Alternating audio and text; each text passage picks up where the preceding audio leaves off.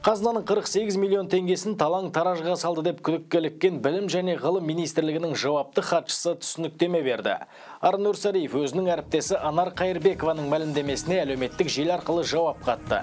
Өткені күні кеше соңғысы Өрсариевті актілерге мәжбүрлі түрде қол қойғызды деп айыптаған болатын.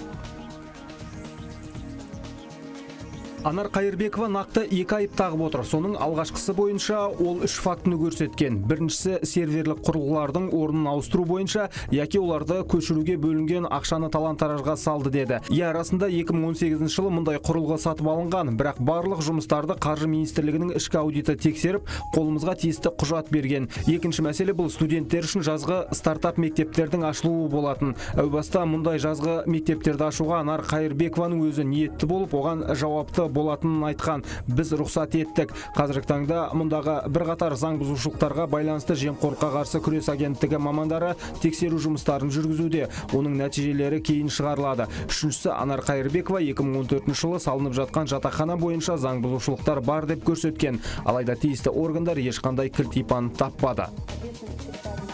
Үрсариев Анар Қайырбекова айып таққан азаматтардың барлығы ресми түрде құзырлы органдарға шағымданатынын айтты. Одан бөлек жауапты хатшысының өзі Анар Қайырбекова мен оның тағы 10 шақты әріптесіне жұмыс уақытында қажетсіз сайттарда жиі отырады деп сөгіс жариялаған.